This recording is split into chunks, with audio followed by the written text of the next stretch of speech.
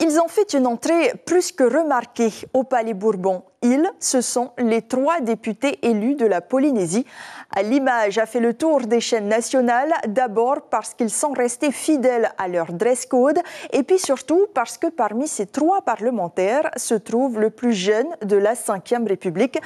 Malgré son jeune âge, Temat Eilegaï entend bien défendre l'intérêt du peuple polynésien dans l'auguste assemblée. Les reportages de nos confrères d'Outre-mer la première. Trois indépendantistes polynésiens déterminés à faire entendre leur voix au Palais Bourbon. Parmi eux, en chemise bleue, Thémataï Le Gaïk, 21 ans, le plus jeune député de la Ve République. On nous pose souvent la question comment est-ce qu'en tant qu'indépendantiste, on peut venir à l'Assemblée nationale? Aujourd'hui, il y a des compétences qui appartiennent à l'État français.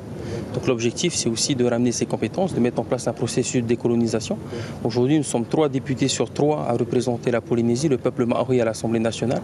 Et donc, il faut très vite mettre en place un processus de décolonisation et d'autodétermination pour la Polynésie. Les mots sont directs. Le message clair pour ces membres du parti Tavini habillés en lava-lava, un paréo traditionnel du pays symbolise tout simplement notre identité, notre identité polynésienne. Et euh, comme nous le disions tantôt, nous voulons, nous représentons le peuple, évidemment que le peuple dans la nation, mais plus particulièrement dans notre cas, le peuple polynésien. Donc c'est tout à fait symbolique que, que nous portions euh, nos vêtements.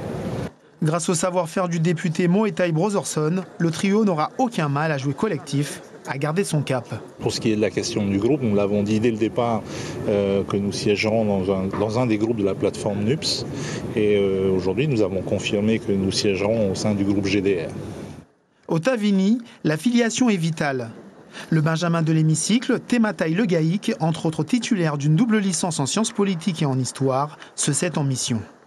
Le combat indépendantiste, il est, il est long, euh, donc il faut, euh, il faut qu'il y ait un, passage de relais, euh, il faut qu'il y ait une sensibilisation de génération en génération. Et il, est très, il est très content, très fier de mettre en avant la jeunesse, que ce soit Steve et moi. Il y a une charge quand même, parce que c'est beaucoup d'histoire, c'est un combat, c'est une lutte qu'on doit continuer, mais il faut fédérer. Il faut fédérer, donc il faut, il faut un discours plus apaisé. Euh, constructif, mais sans concession. Avec ses camarades, Steve Chayou, Moetai Brotherson, Tamatai Le Gaïk aspire à lutter pour l'indépendance de la Polynésie, pour les intérêts de la population, la jeunesse en particulier, notamment en défendant l'emploi, la terre et l'environnement. L'information, on continue sur Polynésie la première, Internet et réseaux sociaux.